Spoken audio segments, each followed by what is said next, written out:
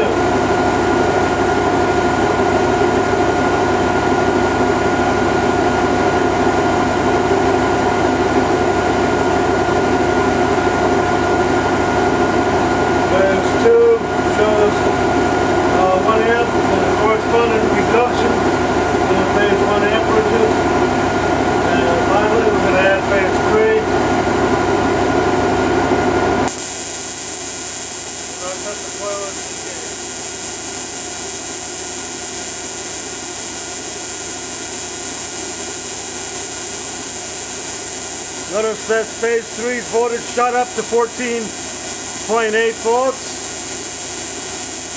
14 volts. 50% greater than its open circuit voltage. Phase 1 is at 10.8, hasn't changed. The only load down that we've seen is on phase 2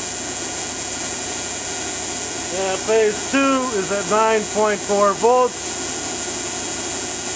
So the loss of voltage that we experienced on the load down to the Tesla coil is more than made up for by the gain in voltage on phase three. We can see our appropriate amperages there. We're interested in obtaining a phase angle drawing. We're going to look at these and see if we can find out if everything's appropriate.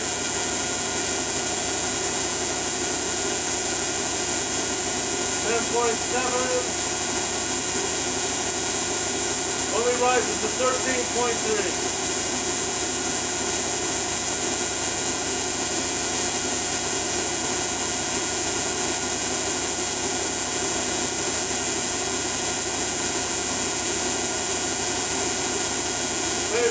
Rises to 38 volts from 9.3.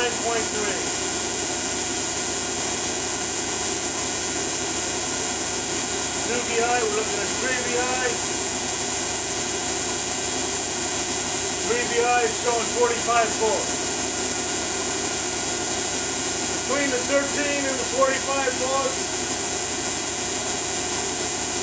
we appear to have 68, 69 volts.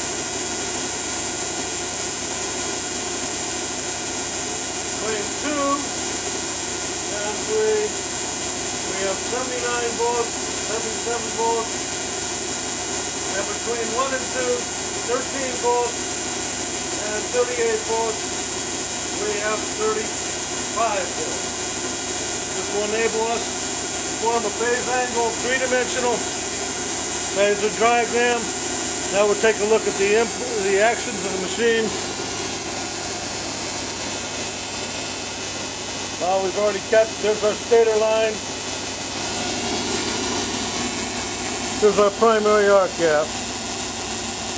Not much to see there. Very close together. And now we'll see our secondary arcing. We might want to spread that a bit.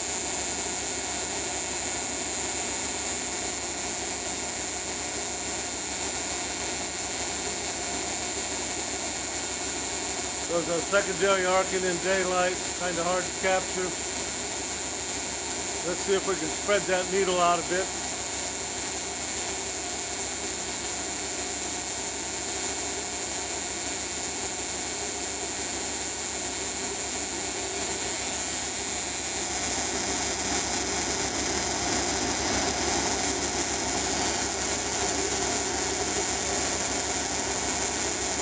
This point here, we're going to go up to a 20 volt operation.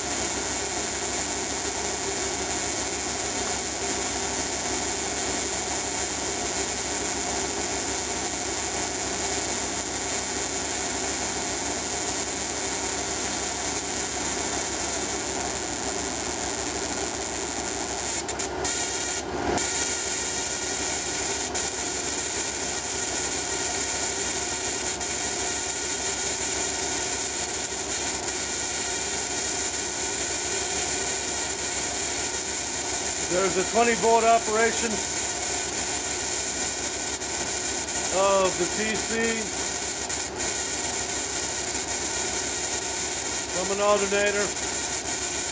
We're going to finish out here and look at our input parameters.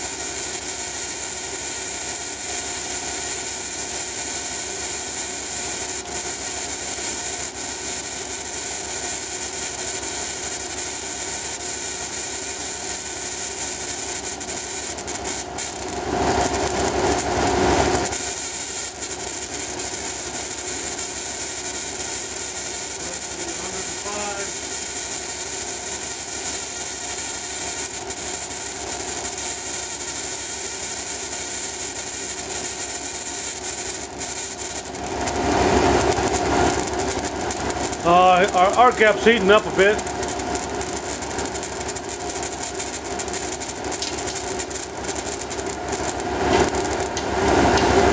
We adjust our arc gap.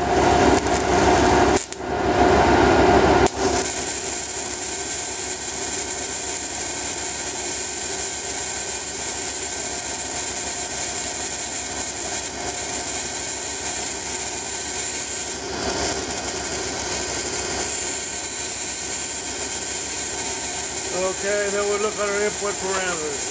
Finish this out. Can you see that? Okay. So input parameters, 20.6 volts, 16 volts, 18 volts, corresponding phase amperages, and down here is our phase angle diagram that we can make Make sure that's all contained in a single shot. We got 22 volts resident rise on phase one. We got 94, 93 on phase two. Then we got 106 on phase three. You see that phase three? Okay, we got 106 on phase three. And that should do it for that. And we'll call, uh, we got 105 between 192 and 106. We got 191 between 105 and 93. And we have 87 between 94 and 23 is our interphase voltage. That's it.